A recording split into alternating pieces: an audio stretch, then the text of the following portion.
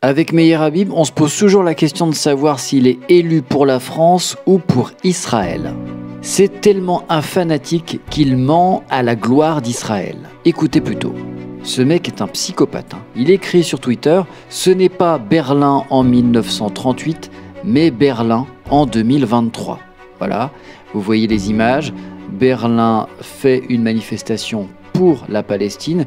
En réalité, pour dénoncer le massacre des Israéliens sur les civils palestiniens. Et lui vient chialer. Quand on n'a plus d'arguments, il faut toujours sortir la carte joker, antisémitisme, nazi, les heures les plus sombres de notre histoire. Le fameux point Godwin, le chantage à l'antisémitisme ne fonctionne plus, meilleur Habib. Change d'argument. Tout le monde s'en fout de tes conneries. Comme dirait l'autre, un con, ça ose tout. Voici la suite, il écrit Attention, l'histoire du XXe siècle a montré que ces manifestations ont été suivies de pogroms, d'étoiles jaunes, de juifs parqués dans des ghettos, de nuits de cristal, de rafles et d'extermination de 6 millions de juifs. Ah, il est possédé ce mec, hein, c'est incroyable. En 2023, il écrit Ce ne sont plus les nazis mais les islamistes qui s'emparent de la rue.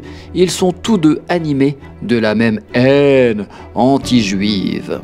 Il poursuit Notre civilisation est en danger. Il est minuit moins une pour le monde judéo-chrétien. Réveillons-nous, il est peut-être déjà trop tard.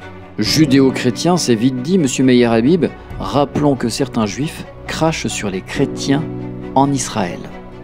Mais ce n'est pas le sujet, il termine son tweet avec PS, personne dans la rue pour les 800 000 morts en Syrie, la guerre au Yémen, les printemps arabes réprimés dans le sang, il n'y a des manifestations que contre les juifs. Donc sa conclusion prouve bien qu'en réalité, il s'en fiche que les gens manifestent, il faut simplement ne pas manifester contre les juifs, y compris si ceux-ci commettent des massacres et des crimes contre l'humanité.